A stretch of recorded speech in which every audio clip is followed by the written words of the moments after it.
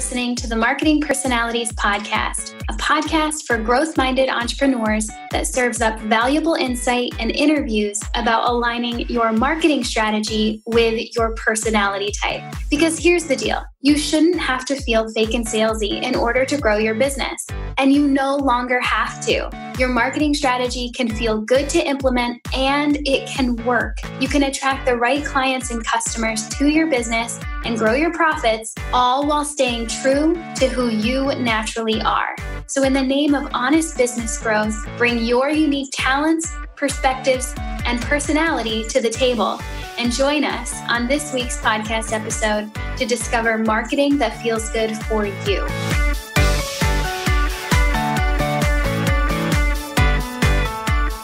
Welcome back to another episode of the Marketing Personalities Podcast. I'm Brit Kolo, and I'm here today with Marissa Lawton, who is a scaling strategist for private practice psychotherapists. So cool. Cannot wait to get into this. Marissa, thank you so much for being here. Thank you for having me. I've been thinking about this all week and so excited. Yeah, so excited. So, Marissa and I are here today to discuss her specific personality type and how she applies it to her business, how she works with her clients, and also her marketing strategy. So, we'll get into her specific type and you you've already seen it in the title of the podcast episode. She's an ISTJ and kind of an ESTJ too. So we'll get into that interesting little blend there. But before we dig into all of that I want you to get to know Marissa a little bit better. So Marissa I I want to ask beside from being a business owner we're not going to talk about business right now just tell me who are you in this world Oh my God, that's actually really hard to answer because I think most of my identity right now is as a business owner. That's why I ask it. yeah. So, a few interesting things. I'm a military spouse. My husband and I have known each other since we were 16 and 19. We didn't get married that early, obviously, that would be weird, but we've known each other half of our lives. And then I went to college. He joined the military, and we were kind of off and on during that kind of five year stint. He dated other people. I dated other people. We realized that we were meant to be. Um, and so we got married in our 20s. We have lived in Texas, Alaska, Georgia, Texas, and we're going back to Georgia again. So we've wow. moved several times, which is one of the reasons that I am an online business owner and we also have two little girls, a four and a half year old and a two year old. So when I'm not working, I'm doing my best to be a good mom and doing my best to, you know, keep my marriage strong. I guess that's where my identity goes. Wow, that's so cool. That's so cool. You know, I'm I haven't been asking that specific question for very long in the podcast episodes, but I kept getting tripped up on that first question, like, tell us who you are in the world. And, and, and it would so quickly go to business. And something about that, which I mean, I do the same thing, right? I'm a business owner too. And, and, and just within that sentence, you can see that's part of my identity. There was just something about there that's like, you know what? This is more than just our business. This is our personality type. This is how we approach life in general. And so I'm switching it up a little bit. So thanks for riding that train with me a little bit here. yeah, I appreciate the question. I think that's awesome to be able to think about that and to separate ourselves from our businesses a little bit. So it made me think, but I'm glad I kind of went there. Yeah. And I can't wait to hear how the reality of moving quite often and probably in your future moving more. Yeah. how that's shaped your business and has shaped what you are encouraging your clients to do as well. So we'll get into that, but tell us about your business now. What do you do and who do you serve? Yeah, so it has been a zigzaggy road to get here. And so uh, right now, I work with psychotherapists. So that means counselors, licensed marriage and family therapists, psychologists, social workers, the word therapist can mean so many things. It can mean physical therapist, occupational therapist, massage therapist. So we put the word psycho in front of it to signify mental health, people who work with mental health. The typical trajectory of that is you go to grad school, you get either a master's or a PhD, you work at a mental health agency, and on that track, you can go and become like a clinical director which becomes like a manager of an agency, or often you go into private practice. And so my specialty is with psychotherapists who are in private practice. And then even more so than that, therapists who want to scale past that private practice mostly when you're in private practice and you're taught to scale, it's that agency model that graphic designers might be familiar with, like bring on a junior designer underneath you and you scale that way. That's called a group practice for therapists. But I'm trying to help them see that there's so many other ways to scale, especially with online income that they might not have ever heard of or might not have been exposed to so they don't have to go out of that clinical role and stop seeing clients and helping with mental health uh, and become a manager and become like take on all these skill sets that they don't necessarily have or want. With an online income stream they can stay really in their you know secret sauce or their superpower but just help on a much bigger scale. So that's kind of what i do is present them with a different option to build their business. Interesting. And i can imagine that what we will dive into and what you bring to the table in your business, in your one on one client relationships, in your podcast that you have, it probably reaches even farther than that psychotherapy industry. But i like how how niched you are in serving those types of people. That really stood out to me when i found you online. And i can also see how your approach to scaling a traditional service based type of model could really help anybody who's in that one on one service based model scale in a way that isn't that agency that I find a lot of times can be pretty overwhelming. I know it was for me. It's not for everybody, but for a lot of us, it, it definitely is. So, yeah. Interesting. Okay, let's dig into those zigzaggy parts. You said your background is in psychotherapy, and now you're here helping psychotherapists scale their current model and grow their businesses.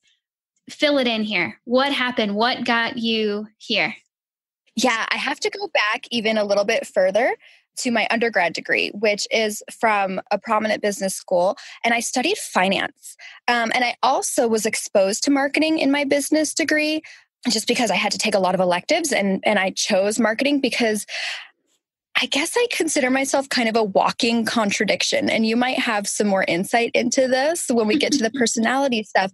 But like, there is this part of me, and I think this is more the STJ part, that is so like step by step, so analytical, and finance really did that for me. Like you put this much money in a stock market, you get this much money back. You do this math and you get the answer, right? But then there's this other part of me that has a little bit of a creativity. And so when I was missing that from finance, that's what I got in my marketing classes. So then my husband got orders to Alaska and I'm going to you know date myself a little bit but I graduated undergrad in 2009 which is the worst year for college grads economy wise like only 20% of my graduating class got jobs. So I took any job I could which happened to be in print advertising so more in that marketing sphere than the finance sphere because all of the financial institutions that existed a couple years ago had gone out of business. So not only that, like my industry that I was studying for failed, banks failed. And then my husband got orders to the middle of nowhere, Alaska. And so there was like a credit union and that was it, right? like one bank and one credit union. And it wasn't anything like investment banking, which I had spent the past four years preparing to do. So while I was there, I call it my quarter life crisis and I was like, what am I going to do? My mom was like, well, what if you were a life coach? And at that time, I was like, I'm 22. How can I be a life coach? This was way before the coaching industry, you know, became what it is. And, and there's a lot of young coaches out there now. But from that, from life coach, I went to, oh, therapist. So I got my master's in mental health counseling and did what I was talking about earlier got the job at the agency, got all my hours, got my clinical license. And then, being a military spouse, we move. And military spouses if they're teachers, if they're even hairdressers, anybody that has to have a license, every time you move, it's really difficult. You're paying that state's fee to renew your license. Sometimes they honor your old state and it's just like a straight across transfer. Other times you have to go back to school and get more education or you have to do more hours. So it's a hard process. And so that's when I was like, well, I had thought about coaching before, and I had just had my first daughter. And so I was like, well, what if I coached other moms? And so I was doing like mom coaching. I had no niche. Like I'm super niche now, but then I had no niche. And I was just like, yeah, let me talk to new moms. And that business was a struggle because my marketing message was off. I didn't know who I was targeting, all of that kind of stuff. So I took a pause, I regrouped, and I figured out what is it that I really want to do. And I said, you know what? Other therapists have the same licensure problem that I do. Or other therapists are feeling really limited because they can only practice within their state. And this was before even online therapy was the thing. Like it, that's a relatively new thing where you can now see your therapist over Zoom, but that was not the case back then. So therapists could really only see people who were willing to drive to see them. And so I realized there was a pain point in that market. I realized I spoke their language. I had the same clinical training as them, but I also had this business background that not a lot of therapists have. So I had this really unique kind of secret sauce or superpower, however you want to say it, that is not prominent in my industry. So that's how I got there. So interesting. So cool. Okay. So, with all of that said, and I'm sure that I know for sure the listener is thinking, okay, somebody explain this to me. Like, how do you go from finance yeah. to graduate, uh, master's degree in mental health counseling and all of this, right? And I know exactly yeah. where the through line is. I can see it very clearly, but that's going to get ahead of us. So let's talk about what personality type and really blend of types you have going on here. So, what is your most dominant personality type? My most dominant personality type is the ISTJ, but I've taken different Myers Briggs from, you know, different providers and sometimes I come up as an ESTJ. And I used to be very extroverted when I was a kid. And now, as I get older, I crave some more of those like introverted coping, like going and being by myself. Alone time is a lot more important to me now than it ever used to be when I was younger. So I can see where I flag ISTJ. Yeah. Okay. So, and this is a really common dynamic. You show up primarily as that one I or E, whichever. But then there are moments, there are situations, and then maybe even over time, you see yourself kind of moving to the other side. And this is a great chance and opportunity to remind everybody that's listening these are preferences. These aspects of your personality type are called preferences for a reason. It's not like, you are just this way and you'll never change. And it's not like you're just this way and not the other way ever. These are preferences. And while some psychologists out there from all different decades will say, no, you have your type from very early and then it never changes. I don't know. I, I want to give it leeway to change and and allow you that sliding scale because the more I talk to people, it just simply is a sliding scale. It is. And so, I mean, why put yourself into a really closed in box when really it's like kind of a box, but the side is open? You know, like, I mean, yeah, you, you don't have to, you don't really have to be pigeonholed. So I like that you're bringing that. You're dominantly ISTJ and you've got some ESTJ in you as well. So I'm going to just riff a little bit and bring everybody up to speed on these two types. And then we'll get back to okay, how is this really showing up in your specific business model, your coaching style, your marketing strategy? Okay, so mm-hmm. I'm going to hit ISTJ first because that's the more dominant one. As an ISTJ, you tend to be practical and fact minded. And because of this, your reliability can't be doubted. And I think this is where that that finance background comes in, that math, that like put these two numbers together and you get this.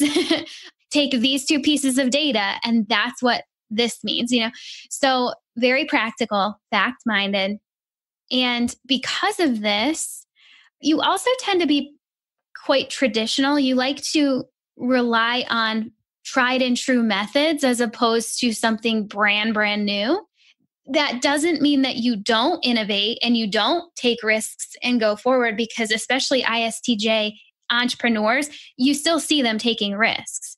But that tried and true method really makes you feel safe and you do you do prefer that, right? You know, you guys can't see us on video, but she's, you know, nodding along yet like, yep, yep, yep, yes, you're right. And because of this, I recommend to ISTJs to question how they can use really highly trackable tactics in their marketing strategy so they can go back to those metrics and make decisions from there.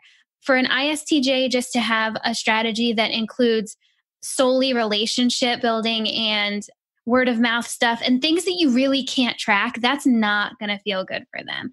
So, when we're talking trackable tactics, we're looking at things like SEO, search engine optimization, digital ad campaigns, things that have numbers behind them. So, Marissa, let me stop there and ask you do you track all the things in your business? Like, are you a crazy tracker person? I don't track all of the things, but the things I track, I track like crazy. Yeah. Like even how I've built my programs to help my clients, like when I'm doing launch strategy or something, I'm like, no, we're going to use a link trigger here. They're like, why do we have to have them sign up for the webinar after the challenge? Because we need to know how many people were at the challenge, how many people moved to the webinar so that we could calculate that. Like I'm listening to you and I'm like, yes, I do this all the time. So I do that in my own business. And then I also set that kind of stuff up for clients because that measurability is like so important to me. Like I feel that in my bones, like how important that is. Yeah, there you go. And I also see ISTJs when they are in the entrepreneur space, and, and I've been open about this in other episodes. I don't have a whole lot of ISTJs in my audience. I don't have very many ISTJs on my email list. Like, for whatever reason, it's not to say they're not out there. They might just not be attracted to where I am right now. And as the face of the brand, that does matter at this stage in the game. Over time, I will be less and less, and the company brand will be more and more. But for right now, I don't know. And from the limited data that I've gotten from ISTJs, I see them most of the time in traditional industries, taking that traditional industry online which is exactly what you're doing. so we've got, yeah, yeah, we've got this very traditional industry of psychotherapy, mental health, usually done in a private practice in person, and you are helping people scale that model online. Mm-hmm. Well, I said that wrong. Not necessarily scale that model, scale their company online, which is a little different. We'll, yes. get into that. And now, now, the ESTJ side of this coin, uh, the more extroverted version of this and how that plays in. So, the ESTJ is an excellent administrator. And in, I think it's next week, we'll speak to a hardcore ESTJ. So, we'll all get a peek into what that looks like as well. But the ESTJ is an excellent administrator, super good at managing things or people. And that's usually where they're found managing managing people. Lots of different things going on at the same time. Other people look into their life and they're like how in the world are you doing this? And the estj is like uh doing what? What are you talking about? Mm-hmm. because it comes really natural to spin all the plates basically. Meanwhile spin all the plates and take care of their people at the same time which is a sentinel trait, right? Being part of the sentinel tribe. And because of this, I suggest to an ESTJ to think about how they might be able to leverage an, an affiliate or an ambassador program. Because as an ESTJ, you can easily catalyze people to sell for you and be kind of take on your rally cry with you. And then also, getting a little ahead of myself, and again, we'll talk more about this next week, but when I say affiliate program or ambassador program, it can also look like a really strategic, well thought out referral system too, right? Mm-hmm. So it doesn't have to be the really digital stuff. It can just be if you're working one on one with someone as an ESTJ, it can come off really, really well, and you you seem very natural asking for a referral and catalyzing your current or past client to find more clients for you. Um, whereas a lot of us just that doesn't come super naturally. That's like, ooh, that kind of feels a little funky. To an ESTJ, you're like, yeah, oh, I can, yeah, I can do that. so with all of that together, here's what I see, Marissa, between your funny, what seems like contradictions, the finance, the mental health counseling, and now taking and helping psychotherapists scale their businesses. The through line here is you are part of the Sentinel tribe. And as part of the Sentinel tribe, you are a hardcore people helper. Like it's not ever going to be just about you. Yeah. And so while you have that technical thinking brain, which I see coming through the finance and and also I, I've heard you kind of say little bits and pieces about the strategies you put into place for your clients. They're very technical. They're very you know thinking like yes step by step by step very cool and underneath all of that is the want and need like that that visceral need to help people yeah, I actually was going through this analogy the other day. One of my, um, you know, my biz besties, she was saying, like, I just want to give people the recipe. Like, here's the recipe written down, and you have all the ingredients, you have all the steps, go. And I was like, I want to be the person that gives them the recipe, goes grocery shopping with them. It's like, how about this apple? Do you like the way this one looks? Cool. Let's put this one in the cart. We get home, we're chopping ingredients together, we're mixing together, we put it in the oven together. It comes out of the oven, we eat it together. Like, so I'm very step by step and methodical in that way, but I don't want to just like give somebody the recipe and have them go off and do it on their own. Like, I want to be instrumental with that person and get them the results that I know I can get them, but also that I know that they're capable of. Mm. And I mm. feel like my ideal, my ideal client or ideal customer is somebody who wants that guide. Like, sure, they could follow a recipe on their own, but they want to have that sip of wine and conversation while it's baking. They want to still feel connected to that person that's that's teaching them or guiding them. So that really, really resonates. That is a beautiful analogy. I can just feel the the people that are listening right now that who are in the Sentinel tribe along with you just being like, "Oh my gosh, exactly." because I've heard yeah. similar things yeah. come through from other Sentinels, not in such an eloquent way that you just explained. So that is gold. That is total gold. So with that, and I think you just kind of hit on it what would you say is your unique angle in your business? Being who you are, how do you approach it in a way that's different from others? Yeah, I think that's that's really kind of it. I call myself an analogy queen or a metaphor queen, like something that is uh, just always been natural to me even when I was a kid is that I could take these concepts that were either overwhelming or just really hard to get your head around, and I can just see them in pieces. I can put them in order and I can explain it to somebody in a language that they're going to understand. And then not only can I explain it, but if it comes to the point where they hire me, I can teach it in a step by step way, in a systematic way that it's like if you do step one through six and just keep repeating those steps, you will get to where you want to go. And so some of my ideal customers are like, I love that because that's what I needed was like this roadmap. But sometimes people whose brain don't work that way, they're like, like this. It feels too organized, or it feels like I'm reining them in or boxing them in sometimes. So I've come across that a little bit. But for the people who really need that systematic or a breakdown in a way they can understand, I feel like that's something I can really do well. Yeah. Oh, that's that's really good.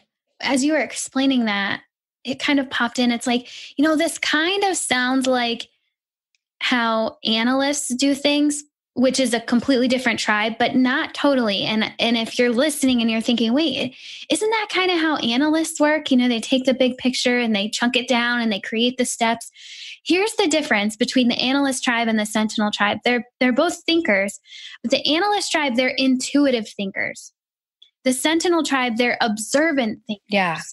So the analyst tribe, the N and the T in the middle, they are creating your step by step process and then they're just handing that to you. They don't usually have that, that like internal need to then see you through it. They'll create the strategy for you. They don't feel super called to walk through every step with you. Some may be a little bit. And in that case, they might be a really close N slash S, which, you know, that's a whole other thing on the flip side, and what we're really tapping into here with Marissa is that as an observant thinker, for sure, she's got that strategy. She's got the organization. She can create that step by step template for you. And she wants to walk through it with you. Yeah. Which is, that's where we get kind of different. Yeah. That's coming up for me actually is my audience is asking for me to take one of my group programs and they want it as a self study. And that really bothers me. Like, I don't want to put a program out there and have somebody buy it and potentially like never open the thing or not get the results that I know the program can give them if they were to do the live calls with me. So at one time, it kind of feels ego serving. Like, who am I to be the person that's going to get them the results? But that is like it's internal and it feels like so off to me to have some kind of self study program that, that I'm not actually seeing them through.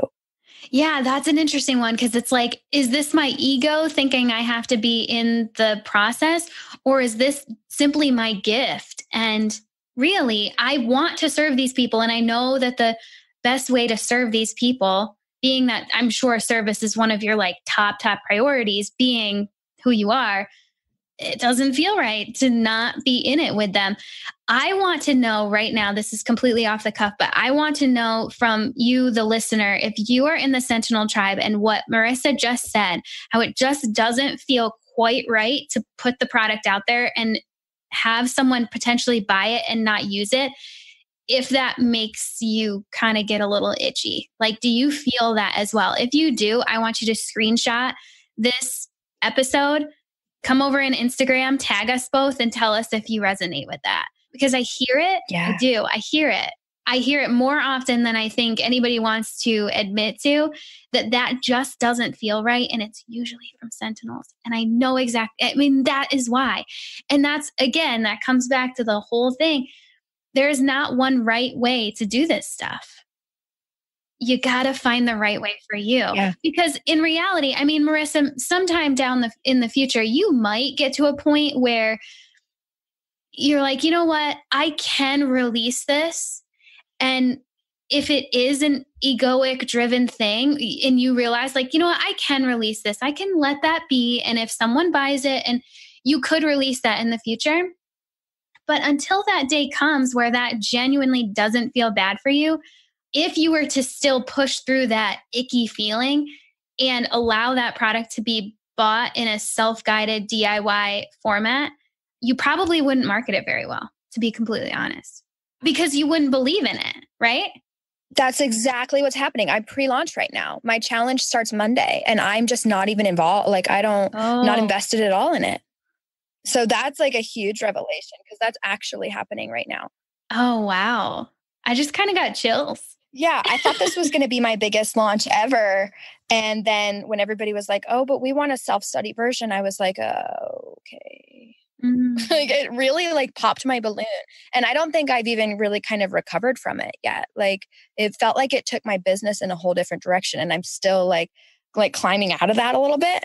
So that was one question that I did have for you versus like the introvert versus the extrovert is if I'm going to grow I need to go towards something self study or, you know, that I can just get, sell, you know, either, either passively or sell to the masses because right now I'm doing group programs and group programs are what feels really good for me because I can be like really involved with the cohort that I'm guiding. And I love that. But I also only have like 10 spots. And in, unless I astronomically raise the price, then I'm never going to scale and I'm never going to grow. Right. So I've been toying around with the idea of a membership site because I feel like that would allow me to be at a bigger scale, but still be involved. But to me, that feels like a really extroverted idea. So I didn't know what you thought about that. Oh, that's good. That's really good. Well, to back up a little bit, yeah, you can you can raise the price. Maybe not, mm-hmm. you know, astronomically right away, but over time, with more experience in the program for you, that whole experience will be more valuable. So the price can go up. And I think there are interesting kind of ninja ways to work in that personal touch and and even a high touch experience for someone who has bought a self-guided course and isn't even expecting the high touch and you can plug that in as like a surprise and delight element a to help them for sure because you know that's going to serve them yeah. and b to satiate that need to be in the process that need to to make sure am i really serving you with this right? Yeah. So I think that there are some, you know, there's some kind of compromise in there. The idea this is totally off the cuff. The, the idea of the membership site, you know, they're they're really popular right now. I firmly believe they're not for everyone. I would say that the membership sites tend to be more driven toward that extroverted person and i see yeah. i see the need regardless of if you're introverted or extroverted or whatever if you're in the sentinel tribe if you go toward the membership site or any kind of community try to remember that if you're creating this you need to allow those members those community people whoever's in there to realize that they can support each other as well. So you don't fall into the trap of supporting all of your members all at once. Yeah. Um, because memberships can get way, way big, right? Like they're extremely scalable when done correctly. For a sentinel who really, really wants to serve, um, if they're not careful and they don't go in with the right expectations set for themselves and for their community members, they can get real bogged down real fast. Am I saying that you can't do a membership site without feeling really well balanced? No, like you, I believe you totally can. That's my one little like, let's think about this before we pull the trigger on it. Yeah, that totally resonates because even in my free Facebook group, anytime someone comments, I want to comment. And again, I don't know if that's ego driven or if that's service driven, probably a bit of both if I'm being really honest. But it's like, I want to give the answer to their question. So I can totally see that as being something that I would have to have reins around. And also something when you were talking about the ESTJ is something that really stood out to me is the relationships, but strategic relationships. Because out of everything, relationships come harder to me. Like I can pitch a podcast, I can pitch a guest post or, or whatever. Like that doesn't faze me at all. But continuing on a relationship with somebody is harder for me like having it actually be a genuine connection that isn't just like okay thanks for the the spot on your podcast now how do we stay either friends or, or even just business acquaintances or whatever after this that part's hard so when i think about the membership site the community fostering that's the part that that makes me nervous i have no doubt that i could set up you know let's do a quarterly plan let's do this lesson uh, every month and then we're going to have a q&a call and a hot seat call like the structure is so in my vein. Like, I love that. But then having my members talk amongst each other, how do I facilitate that? That is what scares me or like makes me feel like doubtful. Yeah. Yeah. Well, in truth, especially as an, well, both ISTJ, ESTJ, you tend to be quite the integrator. And that's a buzzword right now. Try to open your mind to what that means. It doesn't mean visionary versus integrator. It's just you tend to be feeling really good when you are integrating, when you are figuring out the how, when you are really in there and doing it. Yes. And so relationships aren't don't always work that way. They're not always like to the point. They don't always, you know, one plus one equals two. That's not always how relationships work. And so that's where the disconnect is. So if you decided yes. to move forward with and I give this advice to any ESTJ who's trying to work in an affiliate program, ambassador program, a better referral system, whatever that looks like, catalyzing someone to bring people to them. I always, always encourage having someone in your circle on your team to help manage the relationships. Mm-hmm. That's a good idea. You know, that can look so many different ways. And I, I, know every time I say the word team, some people who are just starting out are like, no, that's, I can't do that. Well, try really hard not to block yourself to it because it could look like tapping into someone who is really good at following up and creating relationships and seeing how they do it. Like, see how if you could plug into, honestly, I would most recommend plugging into an ISFJ because they are in your Sentinel tribe, but they're super good at the relationship side of things. So if you could tap into yeah. someone with those attributes and see how they have that kind of templated out, you probably will learn some things that even if you don't hire them or bring someone in specifically to do this for you, you could maybe learn their template, take their knowledge base and apply it to make it at least simpler. So you don't have to figure it out you know like that starting from scratch on that relationship side of things can feel really overwhelming I feel like that taps into that observer piece of me because I I can do that well. I can watch what somebody else is doing and then I can replicate it. Yep. And then after I've replicated it a few times, I can put my own spin on it and do kind of what feels right for me. But I do learn really well that way. So I love that suggestion. Yep, you love that template because it's organized. Yes, I love it. And that fits for your brain, right? Yeah, all full circle. I love it. And I love that you brought some questions to this because that makes it so much richer. I cannot wait to hear from listeners what is standing out for them, what other questions they have as it relates to this conversation. I know that my Instagram DMs are going to be pretty popping today. So I am I'm really excited about that. okay, so I would love to bring us back down, kind of land the plane. And I wonder, what would you say to a fellow ISTJ slash ESTJ, all this stuff that we've been talking about about you? What would you say to them as your best advice to move forward in their business? Yeah, I think for me, what something that I would have needed to hear is kind of you've already mentioned it. There's no right way to do this because I search for the right way, like the structured a to B way a lot. And sometimes you just have to let it go kind of wonky and see what's going to happen. And trust in yourself that you're going to be able to make sense of it because that's what you're really good at is making sense of it. So sometimes it needs to get messy for you to see all the pieces like laid out on the floor and to be able to organize them and put them where they go. Don't try and be always forcing it along the way. Let it get a little messy sometimes. Thank you for taking it there because while we talk about everyone's strength on this podcast, and for you as an ISTJ slash ESTJ and in the Sentinel tribe, we're all, you know, this entire month we're talking about how you're so good at organization and so good at templates. And sometimes when that empowering message is said a lot, and then you have like a, a, kind of disorganized week and things are just kind of hitting the fan, you're like, wait, am I doing this all wrong? Like, who am I? Then none of us have the perfect day. I mean, none of us have the perfect day, yeah. the perfect week. While you do have your strengths, it doesn't mean that you're 100% strong all the time. I mean, even Olympic athletes who are really strong in whatever they're competing in, they take rest days. They have practices that just suck and don't feel awesome. So, you know, you can release the pressure on that valve a little bit. And I'm so glad. Yeah, sometimes you can let it be messy. And then from that mess, you know you're going to organize it. You know you're going to figure it out. Like, no, no doubt. That's so cool. Yeah. I am so glad you brought that to us. All right. So, um, before we go, Marissa, I want to make sure everybody knows where to find you online. So, where do they go? And also, where do they go to listen to your podcast? Yeah. So my website's really easy. It's just marissalawton.com. It speaks really heavily to therapists, but really if anybody considers themselves a helper or, you know, a heart-centered entrepreneur, I feel like my message will resonate.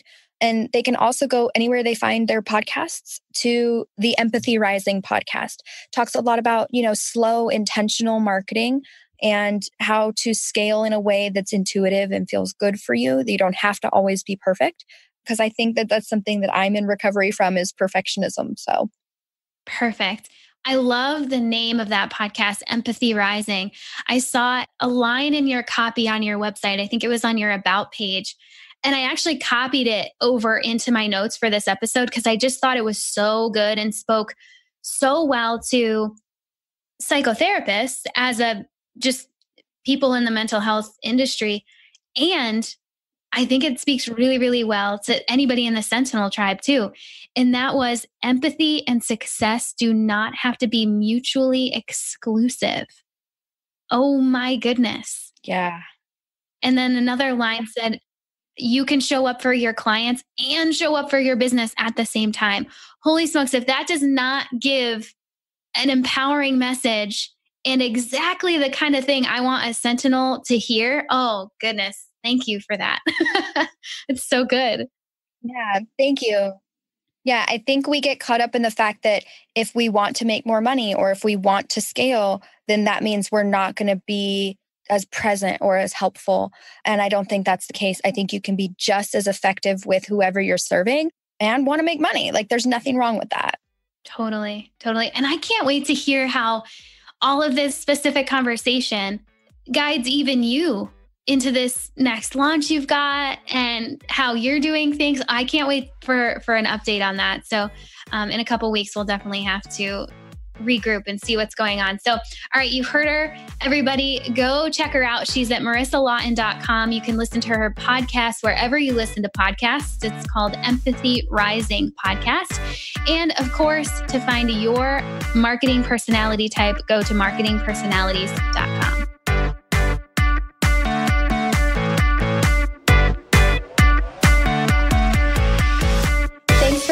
to this episode of the Marketing Personalities Podcast. Now it's time to connect your marketing strategy to your personality type. Go to marketingpersonalities.com slash MPP to download your marketing personality type full report. Use the code MPP at checkout to get $10 off. And that's a super special code for podcast listeners as a way to say thank you for being here. In your full report, you'll learn about your personality type, how it relates to the work you do, what your best marketing strategy includes so you can start implementing it right away, what your worst marketing strategy includes so you can avoid it, and so much more. Go to marketingpersonalities.com slash MPP to get your full report and use the code MPP at checkout to receive $10 off your purchase. And one more thing before you skip on to the next podcast. Would you please share this episode with your entrepreneur friends who also need to feel good about their marketing strategies? Take a quick screenshot of your podcast app right now and share it out via text, Facebook, or my favorite, Instagram. Remember to tag me at Marketing Personalities in the photo so I can be sure to send you a huge high five and thank you for sharing the love. This podcast is edited and produced by the Podcast Engineers. They're pretty great, and you can find them at podcastengineers.com. That's all for now. Thanks as always for listening, and I'll catch you back here next week on the Marketing Personalities Podcast. Love ya. Bye.